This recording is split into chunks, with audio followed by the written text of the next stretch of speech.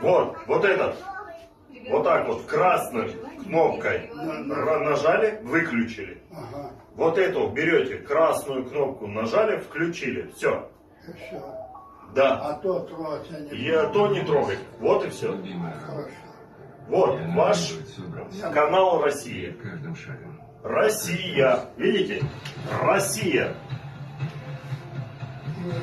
Повезет.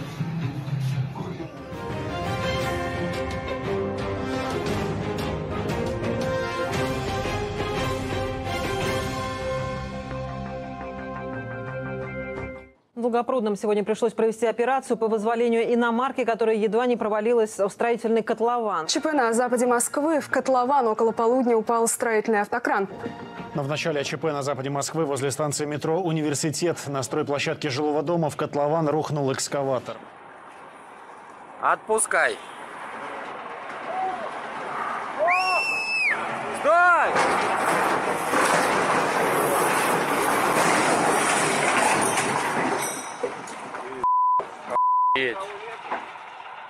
На севере Москвы в котлован упал трактор. Тракторист выбрался и скрылся.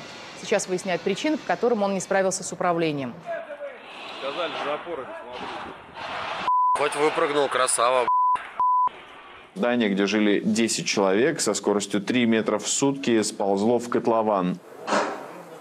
Роман, поснимай, да ну нахрен, мы сейчас не упадем. Снимаешь, Лёш? Да.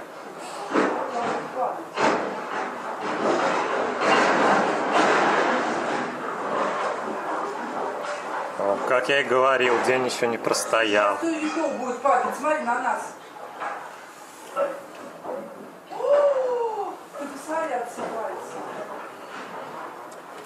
Ну что, мы точно не упадем? Да ну вас это. Пока не должны упасть. Ой, ну куда же мужик-то идет? Вот что, дурак что ли? Сань, там грунт рушится, он идет, этот лысый. Ой, я не могу.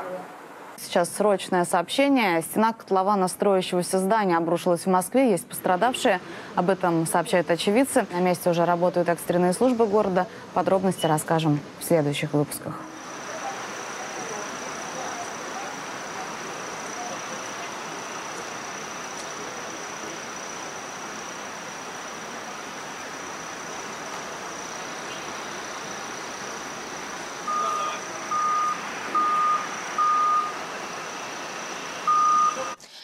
На дне котлована в тракторозаводском районе рабочего засыпала землей. Трагические события разворачивались накануне.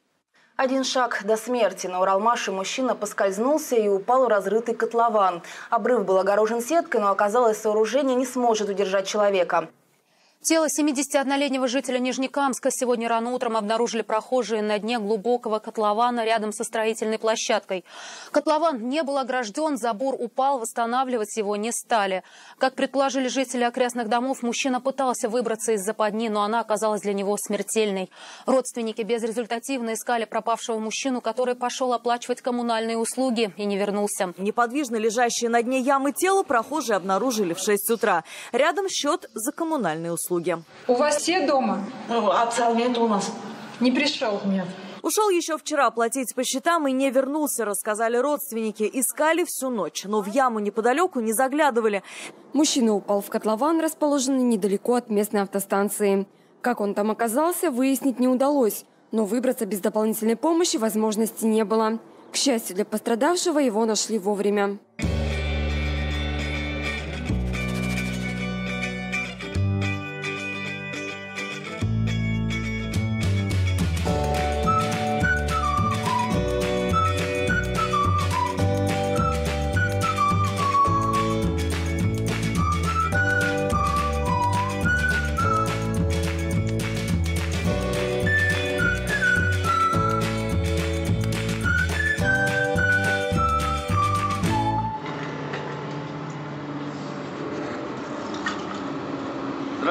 Меня зовут Михаил Осетров. Сегодня хорошая погода, хорошее настроение. Мы сегодня начинаем копать вторую очередь котлована «Белые росы». Так, сегодня 2 октября. Вот мы через щелочку в заборе видим, что идут раскопки. А что строит парень? Котлован. Котлован? Да. Для чего? Для бассейна, народ. Нет, бассейн. Не бассейн? Нет, бас- А что? Только котлован. Ну котлован для чего? Его же не просто так роют. С Знаю. какой-то целью. Скажите, пожалуйста, ну большая яма. Как вам так удалось? Работать так надо. Работаете? Так может применить в мирных целях? В мирных целях. В мирных целях вы копали. Если вам нравится копать, смотрите. И даже экскаватором не выкопать, а вы выкопали. Молодой человек. Сергей. Сергей, да. Ну подскажите, пожалуйста, как вам удалось выкопать такую огромную яму? Большой дружной семьей. После поступления наш курс был отправлен на строительство э, телецентра. Мы рыли котлован. И вот эти вот две недели э, были для меня э, чудесным временем. Я его часто вспоминаю. Вот это наш котлован.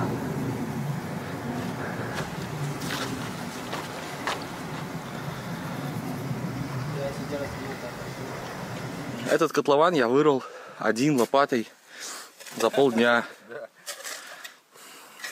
Глубина котлована 2 метра.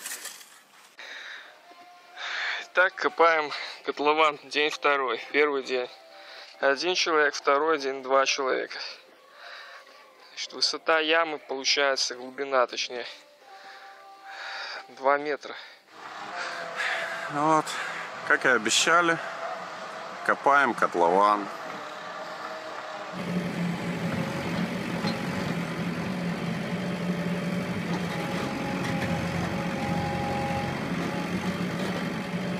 Итак, друзья мои, всем привет!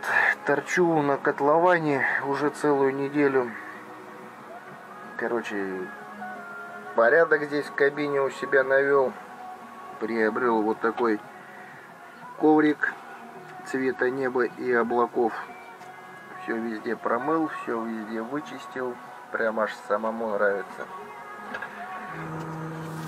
Короче, продолжаю этот гребаный котлован копать.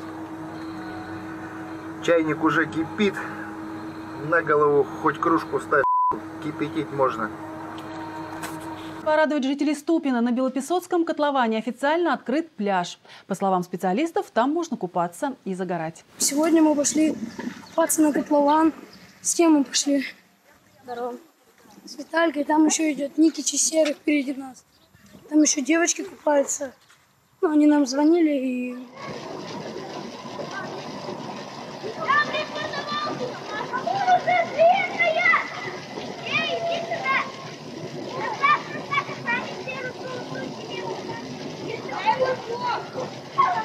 Не снимайте на видео! Так нечестно!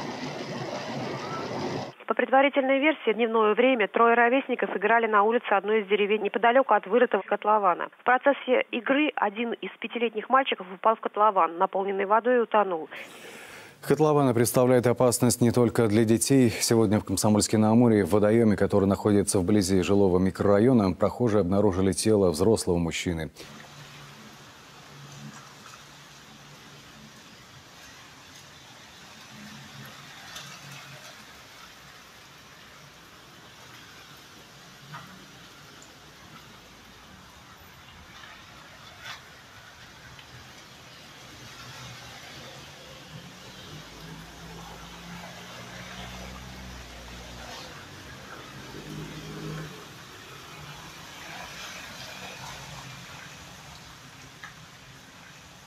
Стали известны подробности трагедии на искусственном котловане в Омске. Напомню, в субботу, 20 апреля, на улице 6 крайняя двое детей провалились под лед и утонули. Я тебя снимал, я ноги. Образовался этот водоем после сноса старого здания, и до сих пор коммунальные службы не могут огородить котлован, не говоря уже о том, чтобы его засыпать. Куда смотрит школа, где были родители? Задались риторическим вопросом пользователи сети интернет, посмотрев это видео. В центре города школьники курсируют на тонком льду по глади водоема, о глубине которого можно лишь догадываться. Но четко видно, озеро образовалось в каком-то котловане. 10.02.2017. 16.55. Продолжаются работы по выкапыванию котлована. Суббота, 11 февраля, выходной день. Продолжается рытье котлован. На границе с детским сад, садиком «Солнышко». Дети в котловане играются.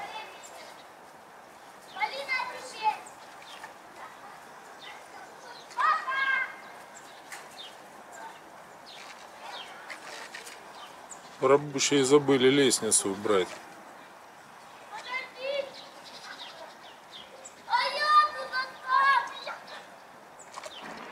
Восемь лет назад на этом месте пытались построить кафе, захватив половину территории детской площадки.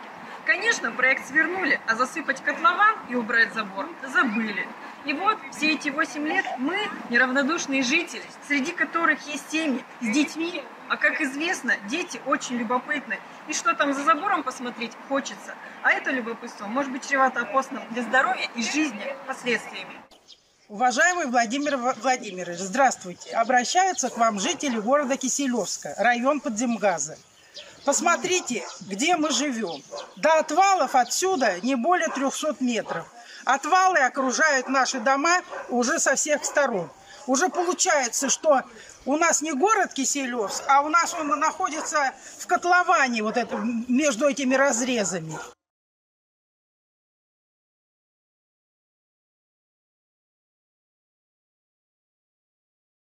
Я думаю, не один я такой, который выпускает эти обращения, который пишет к вам, который что-то просит.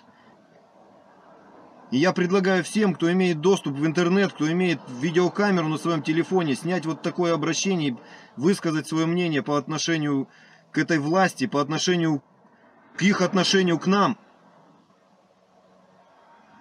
Выскажите свое мнение публично.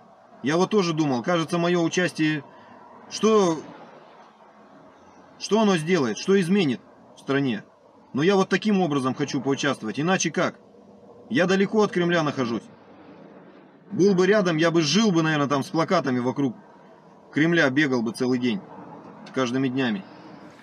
Ваша администрация и ваши друзья из правоохранительных органов России своей преступной деятельностью довели меня, нищего гражданина и уроженца Российской Федерации, инвалида и физического калеку до такой степени, что я, не имея возможности терпеть ваши государственные безобразия, решил обратиться к вам с видеообращением, помещенным в американском сайте YouTube, позволяющим всем свободомыслящим и честным гражданам мира обличать преступную деятельность государства, в котором грубо нарушаются права человека. Я инвалид детства. За всю свою жизнь мы ни разу не получали санаторно-курортное лечение. В то же время некоторые люди умудряются получать его каждый год. Скажите, пожалуйста, каким образом выдаются путевки? Просто мне не особо верится, что можно быть настолько невезучим, и до нас не заходила очередь ни разу. Выйти на улицу, подышать свежим воздухом возможности нет. А он, по советам врачей, мне нужен ежедневно. Пантус в подъезде отсутствует, и в его установке мне отказали, предложив пользоваться листом фанеры, который хранится в подвале дома. Ключи у старшей по дому. Мне было предложено обращаться к старшей по дому. Это значит, что в день э, выезда должен ей поставить, ее поставить в известность о том, что я такой-то день, в такое-то время буду выезжать на улицу. И она мне должна будет открыть подвал и достать лист фанеры площадью 2 квадратных метра. В июне 2017 года я обратился к президенту на горячую линию с просьбой установить электроподъемник в подъезде моего дома, чтобы я мог самостоятельно выходить на улицу.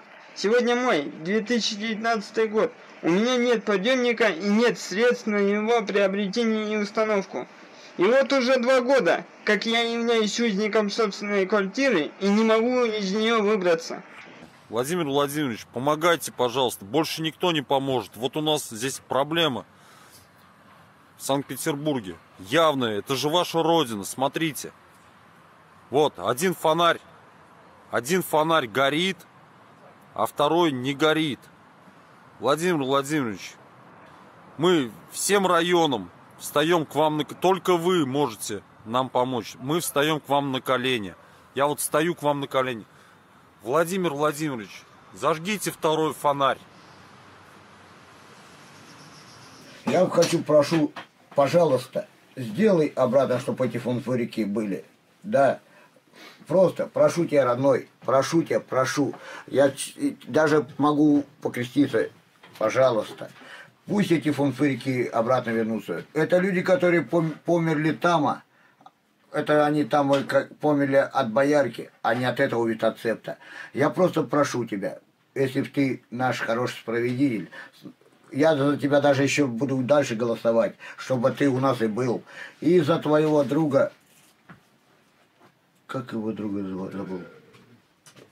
Прошу вашей помощи оказать содействие, так как у меня скоро юбилей. Я устал от этого ужасного издевательства. Помогите ради бога. Я прошу вашей очень еще раз помощи оказать мне содействие, потому что завтра я отмечаю 45 лет – Прошу вашей очень срочной помощи. Я устал от этого ужасного издевательства. Помогите мне ради Бога. Помогите мне ради Бога. Я уже устал. Помогите, пожалуйста. Бог вам в помощь. Уважаемый президент Российской Федерации. Здравствуйте.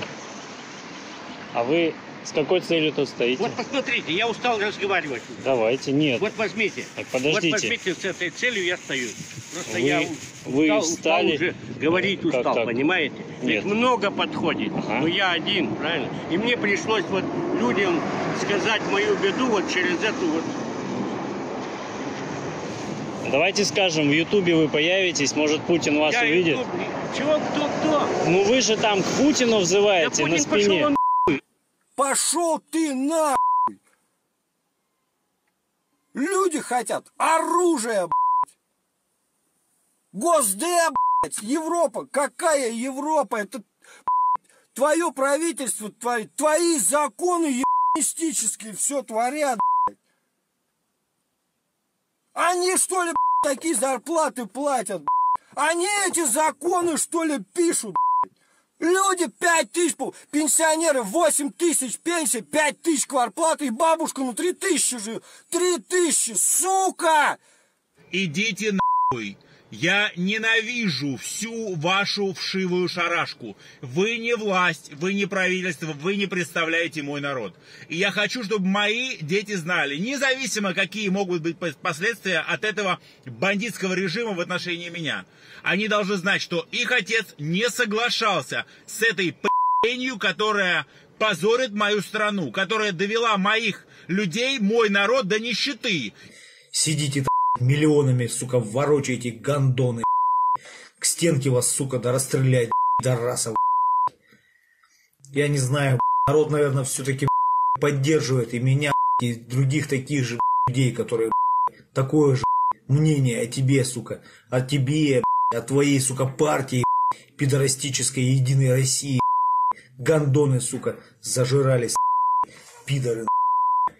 Так что, смотри, скоро народ встанет, у вас, сука, вздернет, на реи, гандонов, ебачих, чтоб вы, сука, передохли, пидорасы. Посоветуйте мне, куда мне обратиться, чтобы мне дали жилье со всеми удобствами, чтобы мне не умываться в тазике дома на улице. А чтобы все было дома и не ходить в туалет на улицу, потому что ноги мои совсем уже не ходят. Хотелось бы пожить по-человечески. Это что за зубы? Я не могу зубы сделать. Это что такое?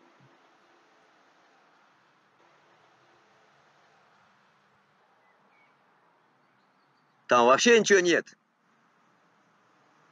Это что за жизнь?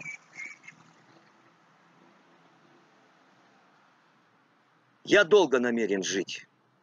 И клянусь, когда вы оба сдохнете, я приду на ваши могилы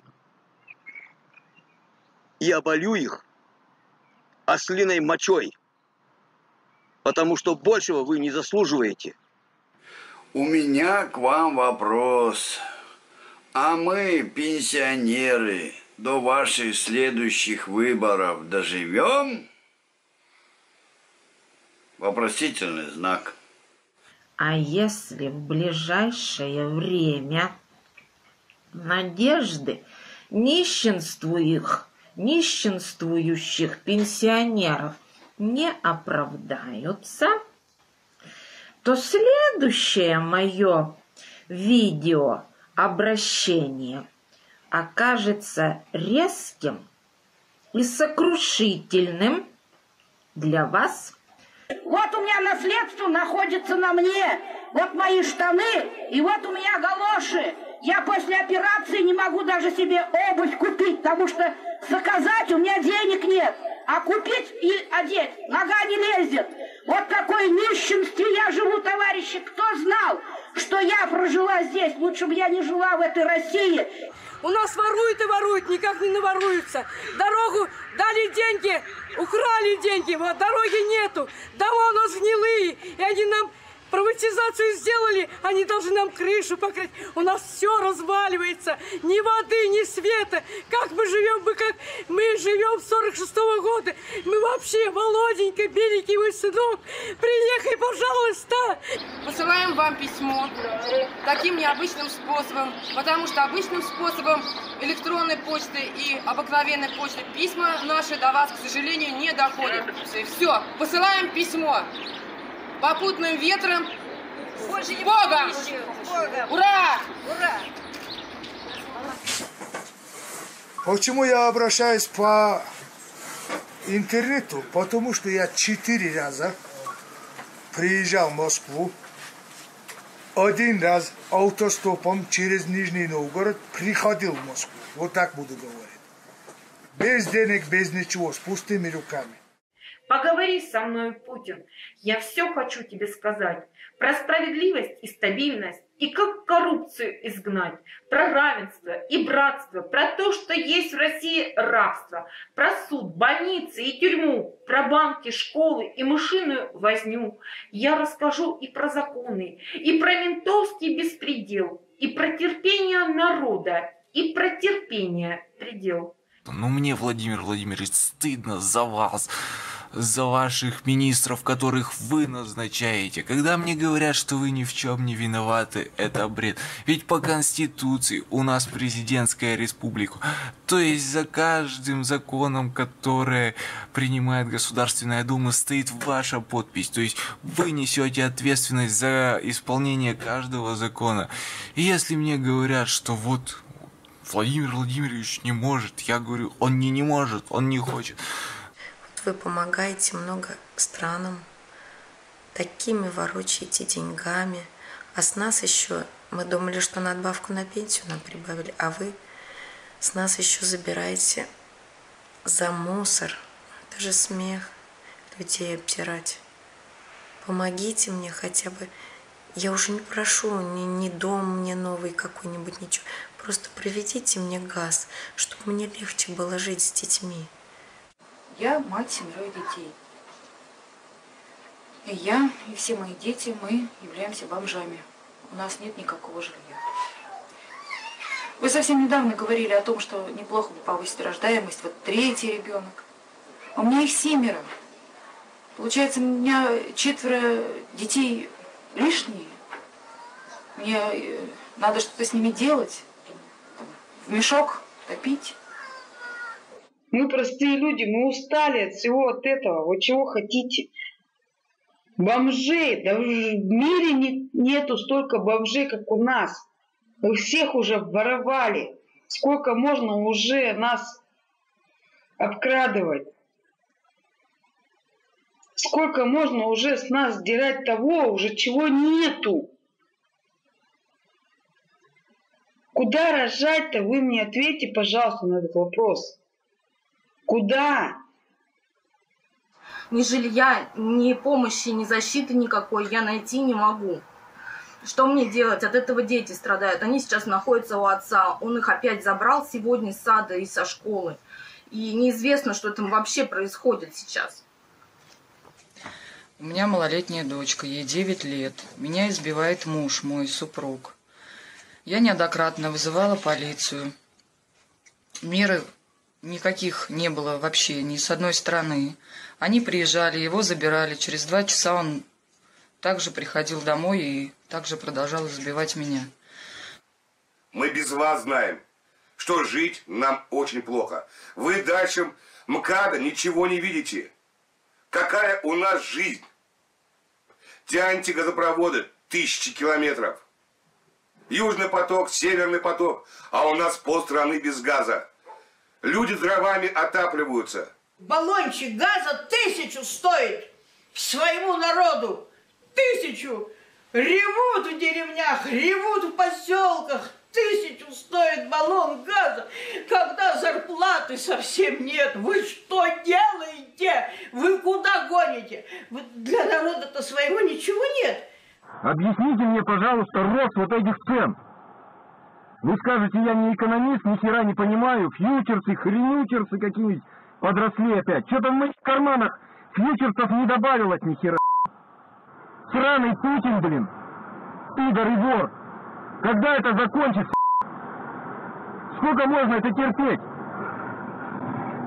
Я вот сейчас полдня работал, блин, 500 рублей заработал, не знал, заправиться или что. Собирался на обед, блин. Теперь не знаю, что на эти оставшиеся 100 рублей купить. Или хлеба, блин, или веревку с мылом. Володь, Путин! Спасибо тебе, что цены поднял на бензин. Я теперь еду покупать автомобиль с дизельным мотором. Я буду сливать солярку на работе и ездить бесплатно. Халява! Урод ты! Я на этом ведре каждый месяц отдавал за бензин 8-10 тысяч рублей тебе, уроду. А теперь буду, не буду отдавать ни копейки, тварь! Ха-ха-ха! Ты вырыл сам себе могилу, ублюдок, блядь! Чего ебать, блядь? Сдохни, тварь! Ты отсюда сосешь газ, лес, нефть. Сюда смотри только. Газ сосешь, лес, нефть. Какого хера у нас свет дороже, чем у вас в Москве? Какого хера мы тут платим такие налоги, такие же, как вы в Москве? Ебашишь, ебашишь, и ни хера не зарабатываешь. Раз в год куда-нибудь мотанешься, это в лучшем случае. А если не мотанешься, то дальше грози, блядь. Какую херню введешь, Горбатый ты, короче. А мотанешься, куда ты мотаешься? На рыбалку. А, Уезжаем мы на рыбалку, чтобы забыть твое это безвластие. Все твои вот эти вот зихера какие-то творишь. Уезжаем на рыбалку, мы там отдыхаем. Мы не слышим про политику, не слышим твои сладкие речи. Какой ты умный, какой ты красивый, как ты катаешься на коньках, как ты забиваешь шайбы. И ты там, ты нас там достал. Ну на рыбалке уже нас достал. Удочки в руки брать нельзя. Да что можно брать? Ну что можно брать? Ну берем в следующий раз, мужики, топоры, вилы берем, косы берем. Я не знаю уже, может за калаши браться. Есть у кого калаши? Беритесь за калаши. 40% мировых запасов ресурсов находятся в России. И мы, россияне, хуже всех живем. Точнее, 70% россиян выживаем. Куда ты нас ведешь, Путин? Где недра? Куда ты продаешь их? Где их выход? Почему мы проценты не видим от продажи ресурсов, рисуи, ресурсов России? Слуга народа, ВВ Путин, у меня к тебе лично вопрос. Куда девается все это? Скажи, Володя, почему? Россия ведь богата. В ее ведь недрах много залежь. Алмазов, нефти, газа, золота. Так почему все это лишь у кучки куркулей? Несправедливее разделить богатство поровну на всех живущих здесь людей. Нас, коренных жителей, стали выгонять охоту годин, зажигать зимовья, поджигать тайгу, чтобы не было вести промысловую охоту. Сотрудники ЗГРП скрывают лица под черными масками, тыкают в лицо оружием, при этом говоря, вы, узкоглазики, здесь обитать больше не будете. И это не ваш теперь дом. Коренных жителей Севастополя местная власть называет оккупантами. Мы оказались лишними на нашей родной земле. Просим вас помочь и разобраться. Путин, ура! Путин, ура! Путин! В общем, столько мы денег потратили, что переезд такой нам не нужен, извините. Мы уже не хотим здесь жить. Уже у нас все, вот эта вот программа, она отбила нам желание здесь жить. Вот. Получилось, мы почти полмиллиона рублей потратили на ветер за пересылку вещей. Нельзя обижать переселенцев. Пусть нам вернут наши деньги. Мы уже ничего особо не просим. Отдайте наши деньги на основании наших квитанций, которые у нас есть. Смотрите, всяким дают, жиро, жир, жир, этот, жир, ну и Жепартье дали, там вот этому э, всяких звездам дают. Кому не лень, даже папуасам, неграм, всем раздают паспорта, э, этим абхазцам дают детям, осетинам дают, даже не хотят, догоняют и насильно дают. А мне, русскому человеку, родившемуся в России, в Иркутской области, Черемхово, исконно русскому человеку 30 лет не хотят дать паспорт. Я такое не понимаю. Жители города Омска уже давно сомневаются, что Омск входит в состав Российской Федерации. Вероятно, это отдельное государство, тайга-шайтан, город Чихай-закон, Чихай-законской волости. Соблюдение Конституции и законов Российской Федерации – не находит своего применения на территории города Омска. А, совсем недавно Единая Россия э, значит, предлагала Барнаул переименовать в Путинград, но Бийск решил не отставать от этой идеи и предложил свое название нашему городу Путин Бийск. В прошлом году, узнав о том, что на нашу страну наложены санкции, я решила помочь своей родине и открыла фермерское хозяйство. Рассчитывала на поддержку и помощь от района и области. Но в районе мне дали ясно понять о том, что мое хозяйство здесь никому не нужно. Так вот, что мы решили на собрании с моим хозяйством. На последние деньги мы купили 600 литров солярки. И, и решили сжечь это поле. Наш регион является депрессивным. И по, по показаниям статистики, мы в Приволжском федеральном округе занимаем последнее место по зарплатам, по пенсиям, по, по доходам на душу населения. Самым главным показателем состояния нашей республики является то, что уже второй год у нас смертность значительно превышает рождаемость. В данный момент наш город Рубцовск потихоньку вымирает. Работы в городе нет. Средняя зарплата 10-15 тысяч по году. Четырех крупных промышленных заводов, которые когда-то были в городе, по сути дела ничего не осталось. От этого маленькие заработные платы, нет дорог. На дороге необходима огромная сумма денег, которую городу никогда не собрать. Это вот видите вы остатки тракторного завода. Душит наш завод, не дает нам работать. Сначала они отключили воду. Мы сделали скважину. Они перекрыли нам пар. Поставили котельную. Они запретили нам пользоваться водоотведением. Незаконно. Вопрос решается. Теперь у нас конец света. В прямом смысле слова. Я прошу, чтобы это видео дошло до вас любыми путями. Меня сейчас уже сядет телефон, и я скажу столько, сколько успею. Я нахожусь на месте крушения самолета Ан-148. В нем погибла моя мама. А, на поле нету никаких работников. Сейчас машина, да, приехала, но они нас не останавливают. Тут может ходить кто угодно. Тут лежат фрагменты самолета, фрагменты тел. Я лично видела человеческие уши.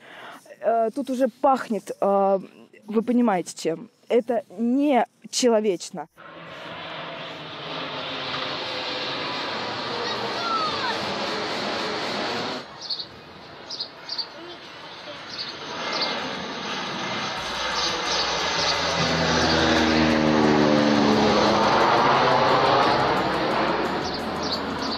Мы являемся единственной семьей в России, проживающей на глиссаде аэропорта, в радиолокационной шумовой зоне, которая пагубно воздействует на здоровье моих детей. В комнате, где спят дети, потолок выглядит вот так. Это все хлестала вода. И по трубу здесь, по шторам, и на диване, на кровати, на полу тоже видно вот пятно от воды. Зимой также дети у меня не видели ни света белого, ничего, потому что у нас все окна были занавешены одеялами, покрывалами. Я имею грамоты, грамоты и муниципального характера, и в лагерь ездила. Осталось нас семь семей, как изгнанные. И теперь нам наши власти говорят, наши чиновники, что мы всех, кого надо, расселили, а остальные все пойдете на улицу. Когда я вышла из этого здания, ко мне обратился совершенно посторонний человек. Он мне сказал, пожалуйста, обратитесь на страничку президента, и он вам поможет. Владимир Владимирович, помогите, пожалуйста. Мы сейчас на улице. Мы купили в декабре 2014 года эту квартиру. Сейчас нам говорят, что она вообще под снос. Вторая очередь под снос. Бессовестные вы люди все! Меня зовут Дима. Меня Маша. Мы живем в городе Серпухове. Когда меня еще не было, мои папа и мама купили квартиру вот в этом месте, на улице Чернышевского. 12 лет назад, как и остальные 186 семей. Нас уже три раза обманывали при поддержке местных областных властей. А сейчас говорят, что просто не отдадут квартиры совсем. Вы говорите, повышает рождаемость, а здесь растет уже четвертое поколение детей в условиях антисанитарии и разрухи. Мы живем в гетто. Подвалы домов залиты водой и нечистотами, в которых лежат водяные трубы. В квартирах первых этажей сырость и гниющие полы, вторые этажи текущие крыши и сырость. Мы уже не говорим про детскую площадку, которая была сделана руками местных жителей. В период безвластия у нас царит хаос и разруха. И это всего в 50 километрах от Москвы. Просим вашего содействия. С вами говорят люди, которых нет. Наших домов нет в реестрах и дорожных картах. Наши деньги растворились в воздухе. Мы и сами скоро, наверное, начнем исчезать. Мы – это инвалиды, пенсионеры, студенты, то есть незащищенная часть нашего населения. Слезно прошу вас помочь нас. Нас 157 человек – которые являются ни дольщиками, ни пайщиками. Мы буквально стали бомжами. Вам по-человечески не стыдно, когда ваши граждане встают перед вами на колени? Господин президент, помогите нам! Во время обращения жителей к вам, записи обращения жителей, пришли сотрудники полиции и потребовали, чтобы все разошлись. Это сейчас зафиксировано камеры многочисленными. Сотрудники полиции даже не дают жителям записать коллективное обращение. Ну и какая у нас после этого демократия в стране? И как можно обращаться даже к президенту с официальными обращениями? Если полиция, вон стоят ребята в форме, даже не дают людям записать к вам коллективное обращение. Мы ежедневно э, проходили службу на улицах города, но в результате сами оказались в, по выходе на пенсию вне закона. Почему сейчас мы и наши семьи э, оказались бомжами?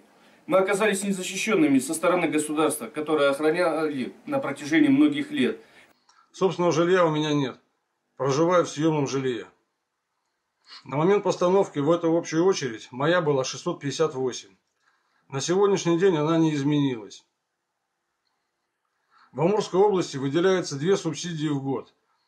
Решим простую математическую задачку. 658 – это моя очередь. Делим на две субсидии в год и получаем цифру 329. Это мне нужно прожить минимум 329 лет. Владимир Владимирович, я провожу голодовку уже 15 день. Но никто ничего не делает. В связи с этим меня интересует только один вопрос. Меня что, Российская Федерация приговорила к голодной смерти за то, что я законным способом защищаю свои права? Или что, требование, чтобы законодательство Российской Федерации распространялось на меня так же, как и на других, является каким-то абсурдным и невозможным? Как можно жить, не имея ничего? Имея звание, имея пенсию, имея награды, а в итоге оказаться без жилья. На данном этапе я могу показать условия проживания в данном общежитии. Батареи, я сказал, холодные, отопление отсутствует.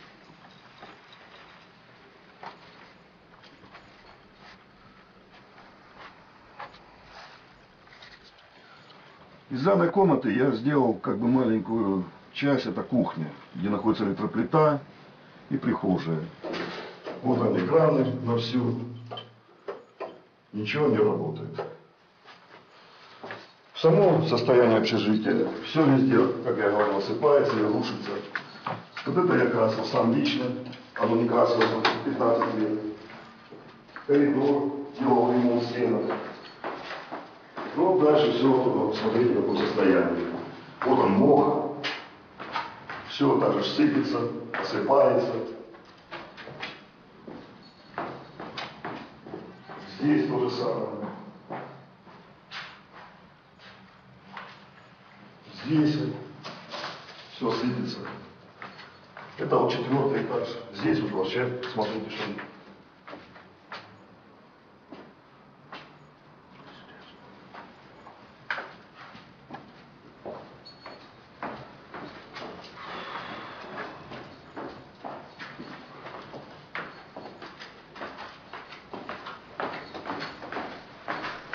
Здесь грибок вообще разъел всю стену.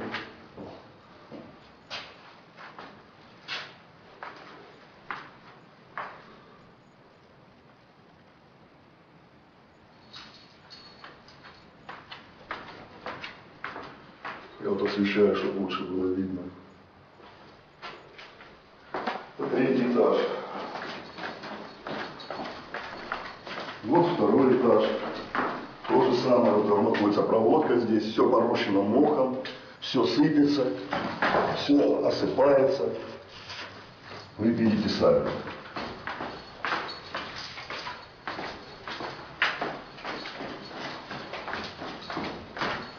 Ну, мы доходим до первого этажа данного здания.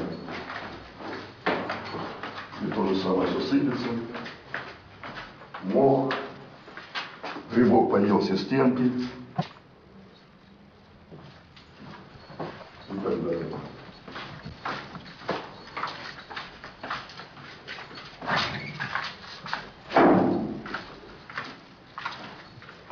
А вот подвал данного общежития, который залит водой.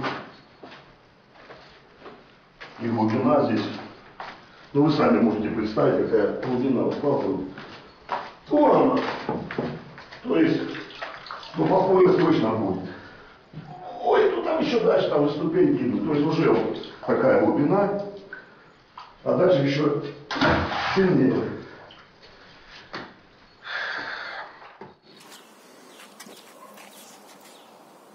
Шло 15 сентября. Уже больше трех недель собирается громаднейшая лужа из фекалий всего района.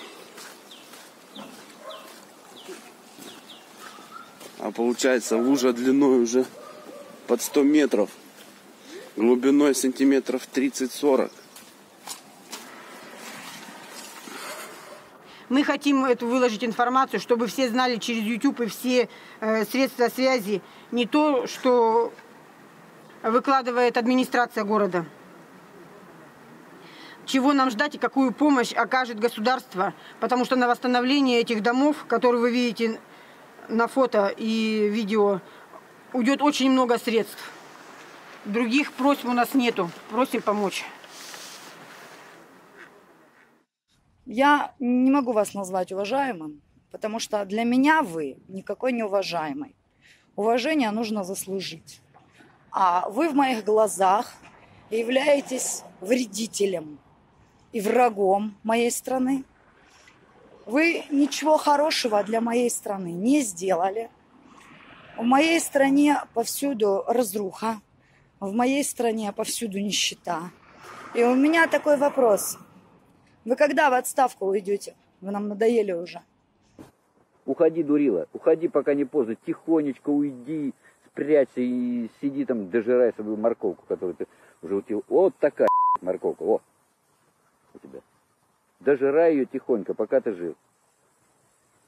Даже если ты умрешь своей смерти, тебе будут проклинать несколько десятков поколений, если не сотен поколений русских людей. И сторонники Путина, вам еще тоже хочу сказать. Вы вообще ушлепки. Нам нужен свой интернет. Что творят американцы, это уму непостижимо.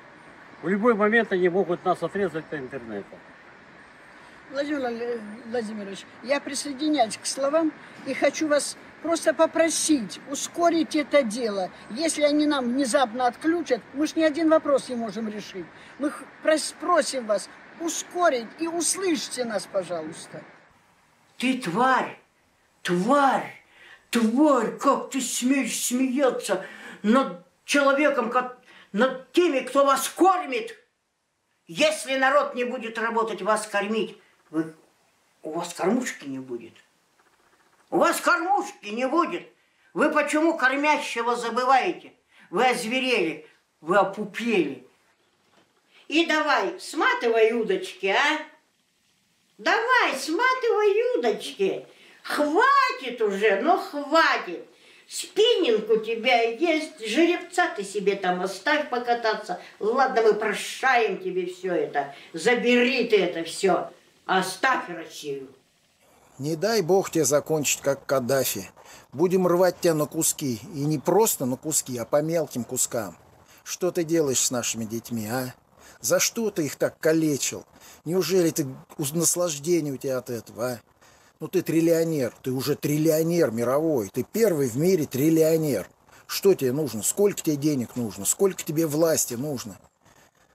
Думаю, не закончишь ты свой срок по-нормальному. Ты уже и так против себя всю страну, всю страну. Уходи ты по добру, по здоровому. Вот что я могу сказать. Слушай, Путин, Владимир Владимирович, иди домой, а? Иди к жене, к своей. Женой занимайся. Оставь Россию в покое. Оставь ее. Ты уже почти 20 лет уже во власти, ты никому дышать не даешь. Меня сегодня уволили по, э, без объяснения причин. Просто взяли, тупо уволили за то, что я выступал на телевидении и обхаял президента России Владимира Владимировича Путина, обвинив его в коррупции и так далее, и так далее, и разжигании войны. Так что, Владимир Владимирович, идите вы к черту! Со своей системой гнилой и со своими полицейскими государством, со своим диктатурой. Долой диктатуры власти! Да здравствует свобода! Я тебя прошу, освободи меня! Эти гондоны не хотят меня освободить! Пожалуйста, Владимир Владимирович Путин, освободи меня, пожалуйста! Владимир Владимирович Путин, освободи меня, пожалуйста! Я не могу освободиться! Что это за наручники, сука? Пожалуйста, выпустите меня из тюрьмы. Я очень плохо себя чувствую. Я просто хочу умереть в кругу своих детей и своей семьи. В прессе в последнее время была агитация против моего мужа, была клевета, были осуждения моего мужа за то, что он вор, за то, что он ворует лес, хотя этого никогда не было, никогда. Он только защищает его и старается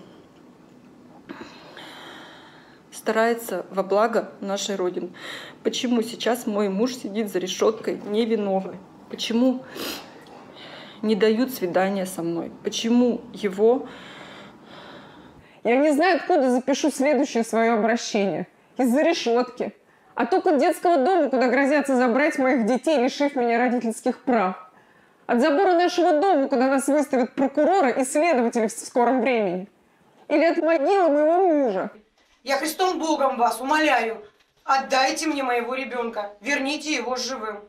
И также всех остальных мальчишек, которые с ним находятся в плену. Сын, мальчишки, мы вместе с вами. Ребята, мы в любом случае вытащим вас из этой передряги. Если военачальники не пойдут на это, пойдем мы, матери ваши, ваши матери. Угу. Я мама Сергея Архипова. Сережа, мы тебя любим, мы тебя ждем, мы делаем все, что мы можем и обращаемся ко всем. Помогите нам. Через два дня нам привезли закрытый деревянный гроб. Опознать нам, родителям, ни отцу, ни мне, матери, не, до, не разрешили, так как строго-настрого запретили и сказали, якобы там инфекция. Так кого я похоронила? К вам обращаюсь четвертый раз. Посылала вам два письма пакетом документов. Выходила к вам по интернету открытое письмо президенту. И до сих пор нет никакого мне ответа. Как мне, матери, сельской женщине, жить с таким грузом на душе, когда не знаешь, где мой сын? Мое материнское сердце разрывается на части. Помогите мне найти сына и вернуть домой. Пусть вернут нам наших детей. Я говорю это от сотни матерей Дагестана, которые также страдают, которые также мучаются. Наши слезы текут рекою, но нас не слышат. Как вести себя человеку, которого насильно заставили признаться в преступлении? Куда обратиться, чтобы наши разумные доводы были услышаны, а не ограничивались только отпиской? Отчаявшись и потеряв надежду, я обращаюсь к вам за помощью. Я прошу вас помочь мне сохранить жизнь моего ребенка. Когда мою дочь задержали, ей было 17 лет. Э, люди в масках и с автоматами ворвались в нашу квартиру. Ничего не объясняя, они положили всех на пол. Э, разрушили, э, разнесли Анину комнату и забрали мою дочь в неизвестном направлении, не объяснив, куда и зачем. Я обращаюсь к вам, Владимир Владимирович. В постановлении о возбуждении уголовного дела против моей дочери сказано, что она выступала против вас. Неужели у вас нет других врагов, кроме моей дочери? Мой ребенок ни в чем не виноват. Завтра 1 июня. Наша страна будет праздновать Международный день защиты детей. Вы самый главный в нашей стране. Я обращаюсь к вам как к человеку который сам был ребенком и вырастил своих детей. Помогите нам, детям, стать счастливее. Моя жизненная ситуация не очень э, сложилась. Мои родители уехали в Корею. Они мне сделали, конечно, подарок, оформили на меня дом, на мое имя. И у нас не оказались средства э, сделать ремонт. Сделали мы только эту комнату. И от сильной нужды, от э, нехватки средств мои родители уехали в Корею на заработки. Но, увы, его их план не сработал. У нас вот не делаются дороги в деревне, вот. И вот, э, чтобы делали дороги в деревнях, по всей стране. Вот. Вы это все должны сделать. Я так предполагаю. Вот. Мне 14 лет. Я жил в городе Нальчик. У меня пересадка почки. Я принимаю таблетки, но мне дают заменители. Могли бы вы пересмотреть закон, чтобы мне давали нормальные таблетки? Я хочу жить. Владимир Владимирович, хочу у вас спросить, почему власти в Краснодаре относятся к детям хуже, чем к скоту? Почему мы вынуждены жить в подвалах? И когда закончится этот беспредел? Когда весь мир борется с терроризмом и экстремизмом, у нашей школы даже нет забора. Разбитый школьный двор, старый измученный автобус, который каждый день привозит и увозит половину учащихся из девяти деревень. А остальная половина тонет на улицах села, добираясь каждый день до школы и обратно. Доведенные до отчаяния учителя Зверенголовского района приняли решение выйти на забастовку. Получается, что мы вернулись в 90-е годы. Мы вынуждены принять решение о приостановлении работы образовательного процесса с 22 января 2018 года до полного погашения всей задолженности учителям нашей школы. В 21 веке, веке инновационных технологий, в нашей деревне нет сотовой связи, нет интернет-связи. Стоит на месте проблема газификации. Мы живем с тем, что у нас нет газа, нет воды, нет дорог, нет связи, нет должного медицинского обслуживания. Но мы не можем смириться с тем, что, нам, что нас лишают элементарной возможности выезда из села.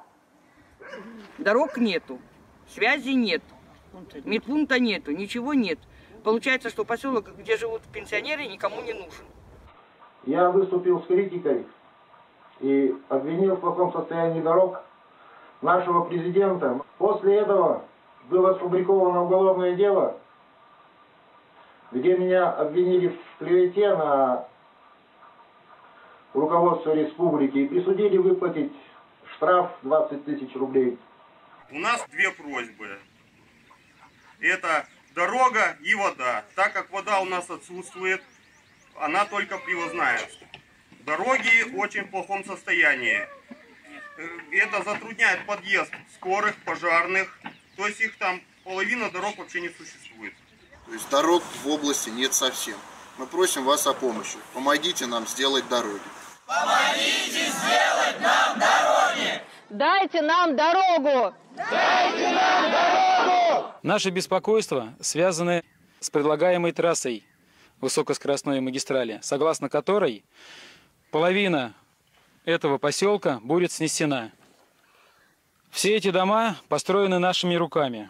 И для нас это не временное жилище. Как вы считаете, можно ли оправдать снос наших домов величием предстоящей стройки? Просим вас оказать содействие к сохранению поселка, по которому планируется прохождение участка юго-восточной Хорды и переносе трассы Хорды в обход населенного пункта. Данный проект предполагает снос около 20 жилых домов поселка, православного храма святой великомученицы Марины, а также части действующего Битцевского кладбища. Помогите нам, помогите! Пытаются вырубить наш лес, отравить наше болото. Мы три месяца на баррикадах. От нас все скрывали, ничего не говорили. У нас пропали комары в городе, значит, птицы, У нас текут кислотные реки. Ежедневно и днем, и ночью к нам завозят отходы первого и второго класса опасности. Мы уже сейчас задыхаемся от ядовитых выбросов. Тошнотворные запахи с этой свалки не прекратились. На дегазацию были выделены миллиарды рублей. Тем не менее, запахи продолжают нас травить. А также еще хочу добавить, что вот из-за всей этой вони дышать невозможно. Мухи прям просто нас съедают, съедают весь наш огород. На улице выйти, особенно после дождя, невозможно. Такая вонь поднимается. Вечером так вообще окна не откроешь, вся вонь заходит в дома. Знаете, такая вот, э, такое настроение, что просто-напросто, вот не, не хочется на себя руки наложить, не хочется жить вообще. Но это же ненормально, мы же живем для того, чтобы жить, приносить пользу этой стране, а на самом деле мы живем вот э, сейчас с такой ситуацией, что мы только боремся с теми недостатками и с теми вредителями, которые нас окружают. Я собираю пластмассу, мою все, аккуратненько складываю в мешок. У меня весь сарай уже завален, я не знаю, куда это, девать. У нас в городе всего 4 контейнера, которые действительно мусор вывозят на переработку, а не на свалку. Как вы собрались сделать раздельный сбор мусора, если до сих пор за полгода до вашего срока нет ни одного контейнера под пластмассу, под бумагу, под ценное вторсырье? Куда мне все это девать? А куда мне девать батарейки, накупленные за 6 лет? Я не знаю, куда их вывести. Они дома стоят у меня, они окисляются. Террористы завезли 30 тысяч тонн мусора первого, второго и других классов опасности сюда, вместо истока реки Москва. Сюда, место, где вскрыт московско-днепросный водоносный горизонт. Сюда, вверх по течению. Москва-реки, на запад столицы, в заповедный русский городской округ. Мы, простые жители русского севера, уже достаточно и понятно сказали, не быть русскому северу помойкой. Мы не хотим, чтобы наш зеленый регион имел метку российской свалки и не позволим его загадить. У нас не вопрос, не предложение к обсуждению. У нас требования. Первое. Однозначное закрытие стройки экотехнопарка на станции ШИЭС. В этом вопросе не может быть никаких компромиссов. 96% жителей Архангельской области против строительства экотехнопарка. Сегодня 20 июня, станция ШИЭС. Мы Народные здесь... гуляния. Народные гуляния. Мы здесь ждали, на самом деле, прямую связь с нашим президентом. Посмотрите, сколько нас.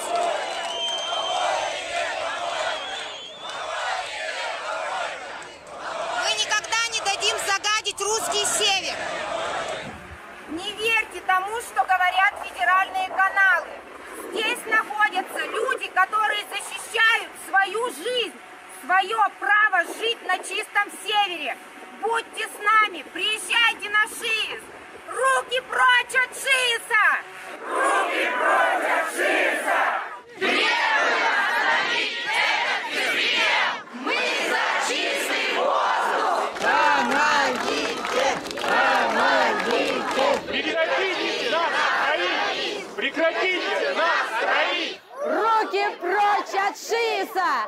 Руки прочь от ШИСа! Руки прочь от ШИСа! Помогите! Владимир Владимирович, помогите! Владимир Владимирович, помогите!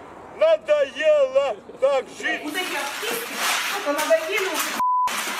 Ни одного нормального письма ни дня нет вообще. Надоело все. Город загадили, посмотрите, у нас полигоны, у нас экологическая катастрофа. В конечном итоге ни мэру, ни губернатору, никому ничего не надо, ни Министерству природоохраны. Сколько блядь, надоело уже все к чертовой матери. Президент, вот сейчас прямая линия, обращаюсь, просто прошу, Отправьте нам какого-нибудь нормального, какого-нибудь адекватного чиновника, чтобы он приехал, решил эти проблемы. Поэтому вот у меня есть просто одно конкретное реальное предложение. Нужно взять всех нас, депутатов Государственной Думы, членов Совета Федерации, правительства Российской Федерации и во главе с президентом отправить в Восточную Сибирь.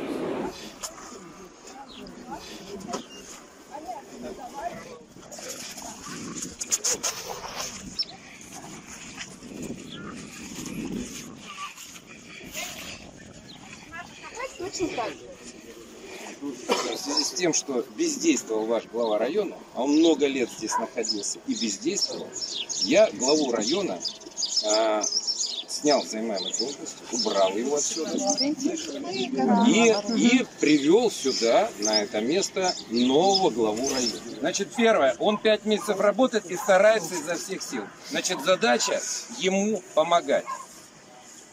Я вас прошу, мы все делаем сообща, ему помогать.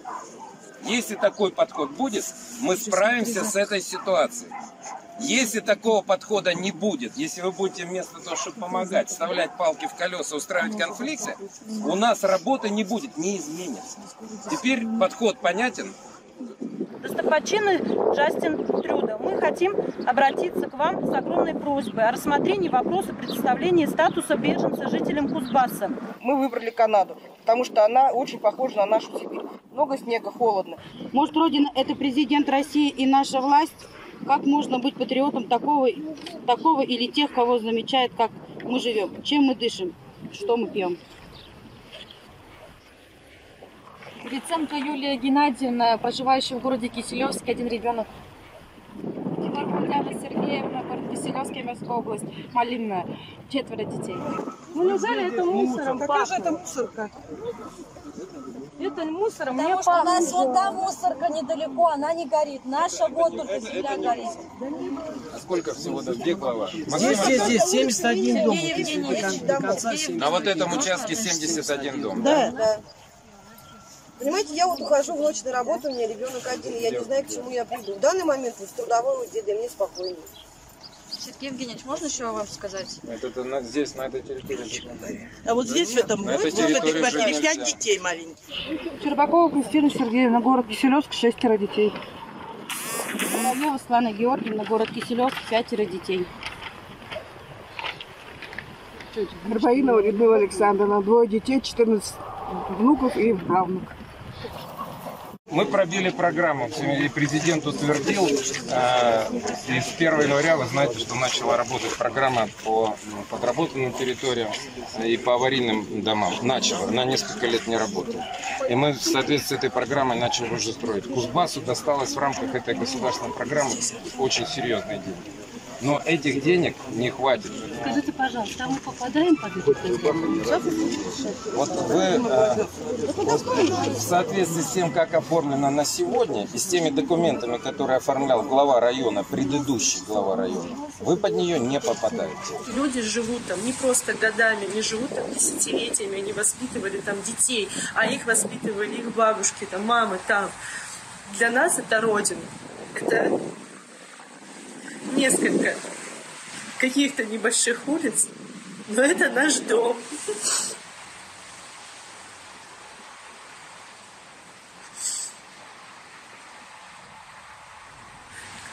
Нам нужно всем объединиться. Потому что если не мы, то кто? Сколько можно убегать в другие страны? Сколько можно эмигрировать? Я подала прошение в несколько посольств. Понимаете, я хочу своих четверых детей увезти из России. Я понимаю, мы уйдем. И таких, как я, может быть много. Мы уйдем. Вам будет проще, потому что вам ничего не нужно. Вы не хотите нам помогать. Мы уйдем. Но я уведу с собой четверых человек, достойных людей. Понимаете? Это наша улица. Двое детей, четверо внуков. Мужчины. Дедуля.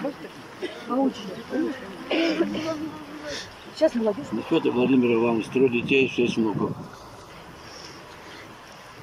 Следующий Иван Павлович, город Киселевск, улица Малинная. А, что, внуков не сказал? Шестеро детей. Шестеро детей, шесть, сколько? Ну ладно, Саньки, счастливо, Саньки. Женщины дорогие! Давай, Спасибо, давай. вам всего хорошего. Счастливо вам, Саньки. Давайте, удачно вам дойти до Москвы. Давай, Санька. Давай. Ты не туда пошел, Саша. А он же развернется. Ты на федер... Туда на федер... Путину привет! Горячий, да, пламенный. Так они на федералку, что ли? Да. Да, давай, давай, Санька. Надежде. Давай, давай, Саш. И сидит, ждет собака. Да.